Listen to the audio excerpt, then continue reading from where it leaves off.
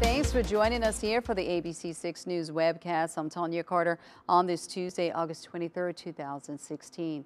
Well, the feds arrest Congressman Bennie Thompson's chief of staff for failing to file tax returns. Isaac Lanier Avant of Arlington, Virginia has been arrested and charged with five counts of willfully failing to file a tax return. From 2009 through 2013, Avant earned over $170,000 but did not timely file a personal income tax return for any of those years. In May 2005, Avant filed a form with his employer that falsely claimed he was exempt from federal income taxes. Avant did not have any federal tax withheld from his paycheck until the IRS mandated that his employer begin withholding in January 2013. Avant faces a maximum penalty of five years in prison if convicted. No word yet from Congressman Bennie Thompson about the arrest. Meanwhile, the president visits Louisiana today, seeing the areas affected by massive flooding last week. 60,000 homes are damaged, affecting thousands of residents. ABC's Marci Gonzalez has the latest. From the receding floodwater to everything it destroyed, President Obama How y'all doing?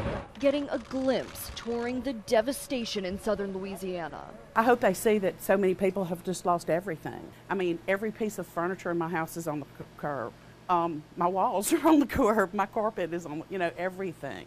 The president talking with owners of some of the 60,000 homes that were damaged more than a week ago in the worst natural disaster in this country since Superstorm Sandy. The fast rising water blamed for 13 deaths, 30,000 rescues, with 2,600 people now still living in shelters. What I want the people of Louisiana to know is that you're not alone on this, even after the TV cameras leave.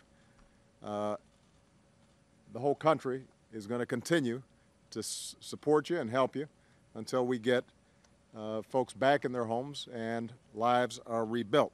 While praised for the federal aid already coming in, a sharp contrast to FEMA's response to Katrina, President Obama also facing criticism. Donald Trump, who visited Baton Rouge last week, among those saying the president should have cut his vacation short to make this trip sooner.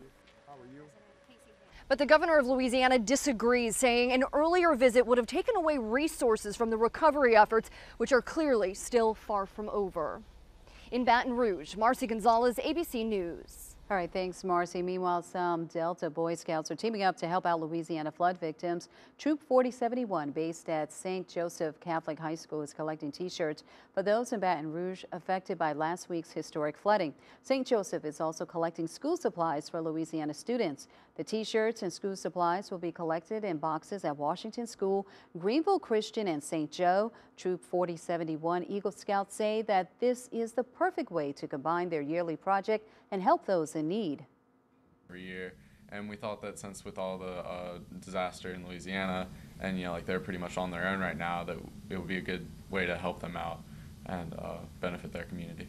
I'd like to do a, a uh, challenge to all other Greenville area Boy Scout troops to do what we're doing and just help the people out down there and just let's get it done.